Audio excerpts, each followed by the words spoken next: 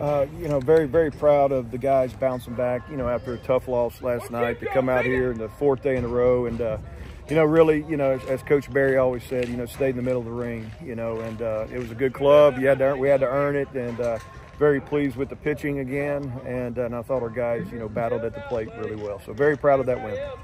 Can you talk about the lineup shakeup today? Um, I feel like in the past, probably see that a, a couple weeks down the road rather than the, the next day. Well, you know, I mean, it's not a panic thing by any means. It's early. You want to see what guys can do and try to find the right formula. And um, and I don't know if we have. I mean, you know, it's uh, it's an ongoing process and stuff. But you just got to get guys out there and let them compete and, uh, you know, and, and, and, be ready for their time. So, you know, that was pretty much the, the gist of that. Just kind of shake it up and see if we can't find a little bit of spark and maybe it helped. Uh, double digit strikeouts for the past four days in a row. Uh, seems like the pitching staff's falling right into place. Yeah, I, I mean, I like. I, have been saying it. You know, I like the guys. I think the pieces are there, and uh, you know, they've been pretty greedy. You know, with the freebies and uh, piling up some strikeouts. So, you know, we're gonna we're gonna go at hitters. We're gonna pitch to contact. That's just kind of what we are and what we do. And uh, these guys are buying into it. So, very proud of that. Coach, speak a little bit to the strategy with Will coming into this game. Finished a lot of guys off of his fastball, but he got three three pitches going. He did. He had a great mix uh, of three pitches going, and you know we, we do our homework, watch video last night, this morning on these guys, and to me, it felt like that. Uh, when you get to two strikes, sometimes the fastball might be the best play. I think their approach was, uh, you know, try to uh, you know, sit soft sometimes, you know, with two strikes, and uh, at least that's what I thought. And I thought we were able to beat him with some fastballs late. But Will, Will looked amazing. He, has got good stuff, and uh, you know, there's three pitches coming out of the same spot, so it's uh, when he's like that, he can keep them on, you know, ice skates pretty good. Well, that fastball was it about ride or location, or both? It's but he's a strike thrower, so you know he can command it, but it also has ride. It definitely does. You know, when it gets up to you know around that belt or a little bit higher, it's tough for those guys to catch up to, for sure. You know, if it's a mid midweek and uh, Will's out there, just how scary can this rotation be when he's going like that career day to day, first start of the year? Yeah, I mean, like I said, I think we have you know multiple guys that can uh, get us out of the gate and start, and uh, and Will's certainly one of them. So it just it link, lengthens out your staff, and uh, you know, so um, you know, I'm always very cautiously optimistic, but I think the ingredients are there to you know be a handful on the mound.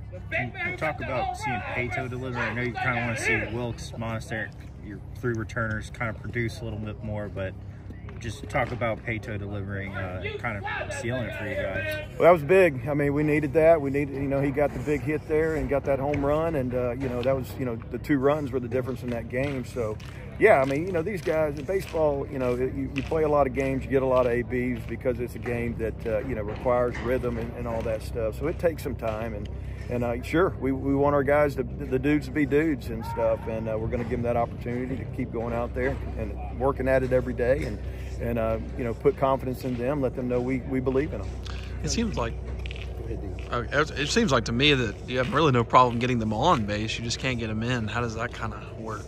Opportunistic, yeah. Um, we've done a great job uh, of earning our freebies, you know, with the, the plate discipline and stuff. Got We've had a lot of traffic on the bases, so now you, you got to capitalize when that happens and, and get that big hit and, and not, not let the moment get too big, you know, just kind of slow your heart rate down and uh, just trust the fundamentals of, of things. And, uh, you know, a base hit's all you need sometime instead of thinking, you know, too big. But, uh, yeah, hopefully we'll uh, that trend will get continue to get better to where we get guys on, we'll be able to get them in two, two big hits. Can you talk a little bit about Oscar Track, that big double in the bottom of the sixth, kind of gets you going, then he leads off again in the, seventh with another double.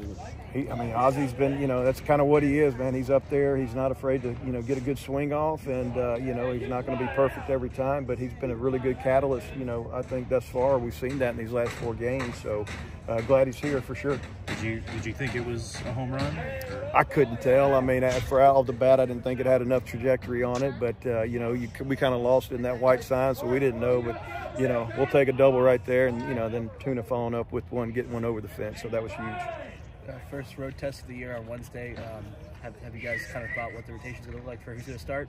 Uh, yeah, um, I don't know if we're going to call it out right now, but uh, we probably will tomorrow. But yeah, I know I know what we have, and uh, you know, and it'll be a game where we'll let that young man get us out of the gate, then probably staff it up to hopefully where we'll be, you know, fresh and ready for the weekend. To that, tons of games early for you guys, plus or minus for you in your mind. Uh, say that one more time. Got a ton of games early for you guys. Is it plus or minus in your mind, or you just see Oh. all these guys get out here, going and get them out? Absolutely. You know, when Coach Kaz at Air Force called me this uh, past July and said, "Hey, you want to go on Monday?" and uh, I said, "Yeah," because I felt like uh, we had the pitching depth to to handle that, and it kind of forces you to see guys. I know we haven't got everybody in, but uh, you know their chance can come on Wednesday and then moving into the weekend. So it's it's good to play a lot of innings early and kind of get guys going and, and see what you have. Thanks, coach. You know, just to start off, uh, what was your mentality heading to that big at bat at the bottom of the seventh inning? Um, honestly, it was a moving situation. We had a runner on second, so uh, I knew I just had to hit a ball to the right side of the field in the air on the ground to get him to third, so uh, the batter behind me could just hit him in. So that was honestly, I was trying to pull the ball. Just to be quite frank.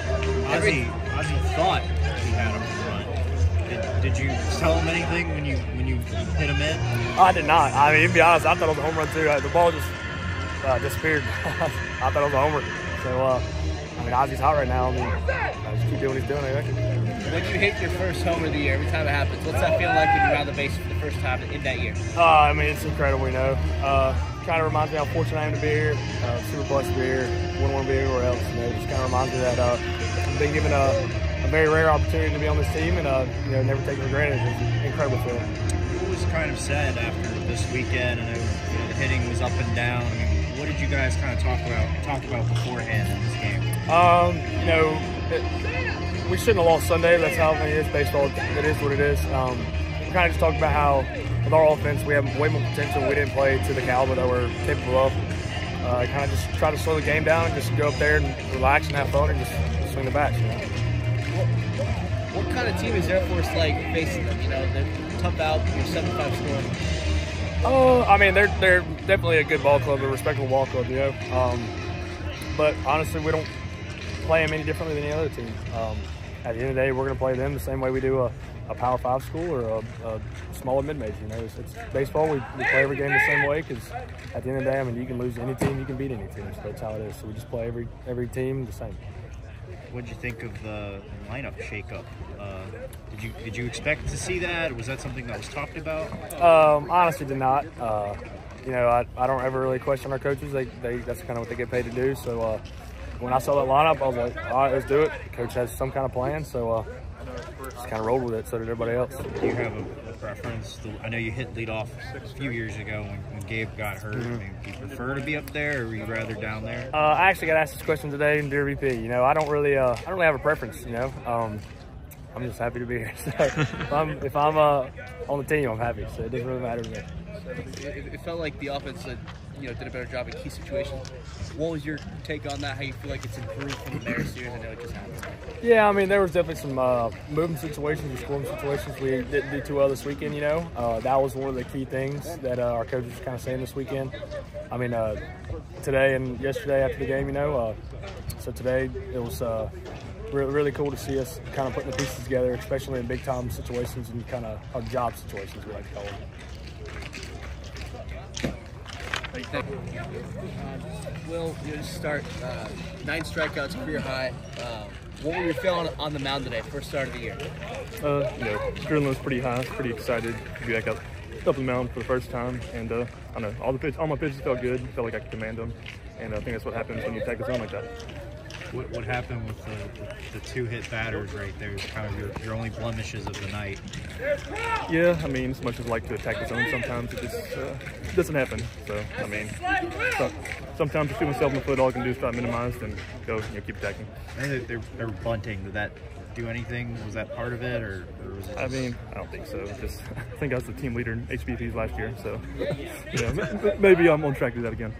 Will you talk a little bit about your pitch mix tonight? Looked like you had three going for you, and you finished a lot of guys off with fastballs and kind of up several times in different places. Kind of speak to that. Yeah, uh, one of the strategies going in is we uh, wanted to attack with fastballs with two strikes, and uh, you know, Josh said just trust, trust my calls with two strikes, and I did, and uh, you know, I we made the right call. Um, just based on, on, on, on tonight's performance, just to start your year, um, what steps you want to take this season compared to last? You know, I mean, last season, I mean, I think I had a few starts, but not really. I think this season we wanted to transition into a full-time starter, so uh, having you know, stamina, endurance is something I need to focus on if I'm going to fulfill that role. Well, could you please explain the very sad or you know very nice stuff that's always coming? I'm, I'm just kind of curious on that meme or, or that inside joke. Yeah, it's just me and some of my friends from JUCO. We just kind of co-opted some phrases and stuff from Twitter and social media, and just kind of almost kind of an inside joke. We speak to each other like that via text and stuff, and comment on each other's things. So, How did that start? can't remember. I think I started just saying it to him back in JUCO. Then we all kind of adopted and kind of became like an inside thing. So it's not really that deep. It's just. Are you a fan of Adele? Yeah, it's uh, I mean, it's like that era of music a lot. So, yeah. So not a not a James Bond fan, more Adele. I mean, Skyfall is a great movie. I like, I like that movie a lot. So, I'd say I'm a fan of both. You feel like hearing Adele before you pitch makes you more intimidating, maybe? It's more like when I'm pitching. Uh, I know some guys like to get amped up. Personally, I like to try to feel calm, relax, and focus. It helps me get helps me pitch better. So, yeah. When did the when did you have the aha moment of this should be my walkout song? Well, usually I like to change it up every year. I think actually uh, Paetow mentioned to me, we should try it out and listen. Try different spots, and I was like, all right, let's give it a go, see how it sounds. And uh, yeah, Yeah, man, you told us you were keeping Linkin Park. yeah, I, I, I ended up changing it, but you know, I like my new choice. So. Thanks, Will. Thanks, man.